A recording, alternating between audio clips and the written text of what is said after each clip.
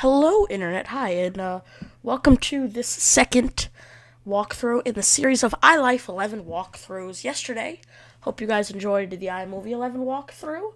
Obviously, iMovie is going to be the one I know the most about because that's what I use on a regular basis. I use it about five times a week on average to edit my videos, so that's what I'm going to know most about.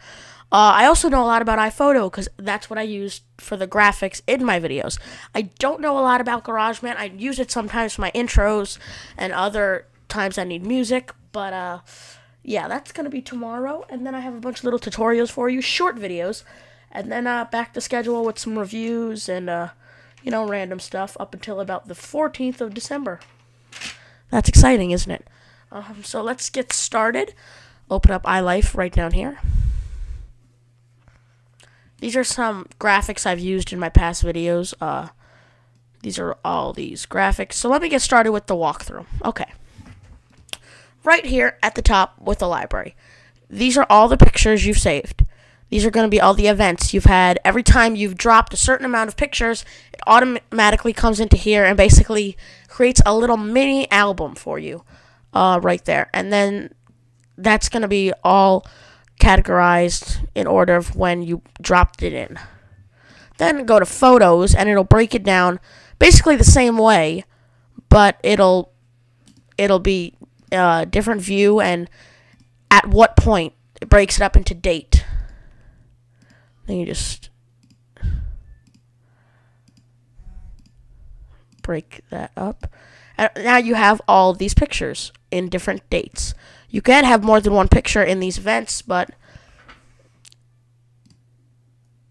then faces, which are basically detecting. These are the faces, which is a really cool new feature that they've added this year.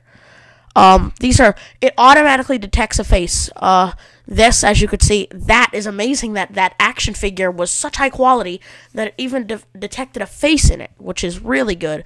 This Miley Cyrus picture and this Taylor Swift picture all detected faces and places, which I think is the same on the iPhone 4 and the new fourth generation iPod Touch, where in the photos you can now put places. Um, select an event, click the info button. So I'm going to do that right here. Info, and then, you know, select a place. It's, that's all you have to do. And you're automatically there. And then you can go to the last import, which again does this in order of all the pictures you've imported uh, last 12 months. You know, it, it's basically all the same theme. They all give you different ways to view your new uh, photos, your photos in uh, any way you want to view them. This is the flagged button. Uh, that'll go into its own folder, and the trash folder, which I have a lot of. And then in the photo book, let me go to event, and I'm gonna take all these pictures right here all these pictures right here. And I am going to. Uh, oh, again, before I continue, full screen uh, is a new feature they've added this year. Uh, search and the zoom button, which makes it a lot easier to v- view your pictures. And this is probably one of the biggest, or even if not the biggest advancement, the slideshow. So many more customizable features that have been introduced in this slideshow. Uh, you play so many new features that have been uh, you know added to the slideshow with music and you know all these new things you could do.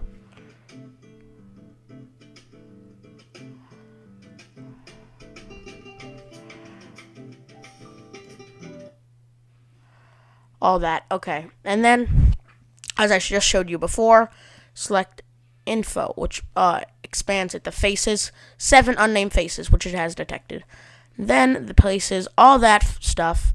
Then want to close that and edit, which is a great new thing they've added. I'm just gonna rotate. I'm just gonna use all these features quick. Rotate, enhance, which makes it, if you can't tell, a little crisper. I remember an example would be when I had a disposable camera and I forgot to put the flash on. Enhance really, you know, fixed that problem because it was really dark, and enhance really fixed that. Uh, red eye. I don't really have a red eye thing, so no red eye, so I just fix that right there. Just example. Straighten. And then just twist that by degree, set it back to normal, done, crop. Uh, right here you can crop. I love the new the new grid is uh, really amazing because it really you know breaks it down for you. And these are all different sizes. You can even customize. Do that retouch. Uh, that's basically blemishes, and you just retouch that. Let me actually get another picture. That's a bad example. So.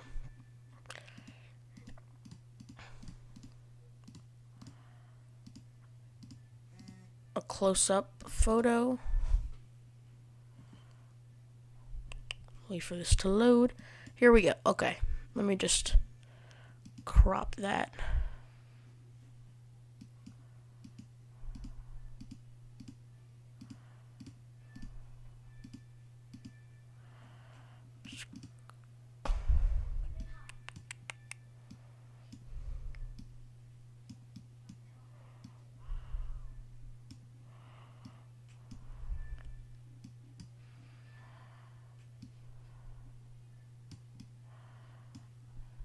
Done and that's automatically cropped. Now I can just make this little thing really really small and basically just retouch. Just fix that up. The only reason it's not working so well here is because of the lighting and there's a lot of glare. Okay effects. Um just gonna go through these really quick. The darken the contrast warmer cooler.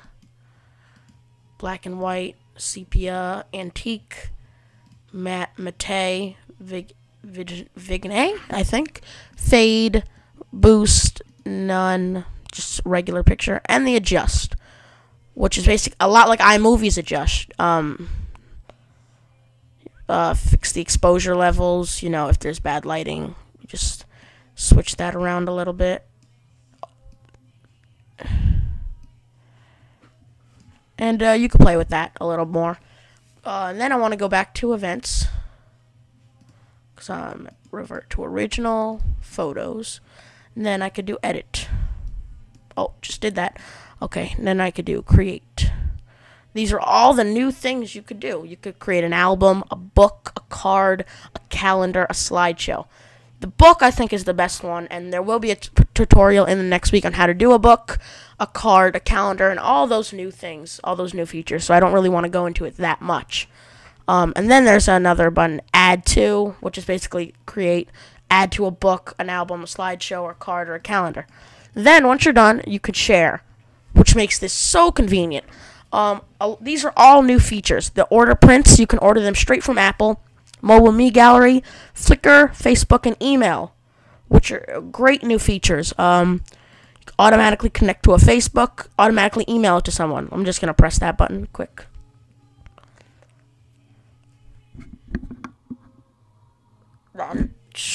Just like that. Just and you're done. You can even there's a even a bunch of new templates you could select within this. Uh, edit that, hi. And just the date November 25th 2010 and you're done. And you can easily just type in a name anything and just send it away. And it's done. So hope you guys enjoyed this little thing. Walk iMove iPhoto 11 walkthrough. And tomorrow I will see you for GarageBand 11 walkthrough. And in the upcoming weeks or months there will be a lot of GarageBand, iPhoto, and iMovie tutorials and little uh, videos I'll be throwing out there on how to do things, basically. I do want to do a big iMovie tutorial, like a six, six or seven part thing that will take up about a week of videos. Uh, I'm hoping to do that sometime next month in January-ish, but I'm not sure yet. I haven't really decided. Hope you guys enjoyed this video, and I will see you guys tomorrow.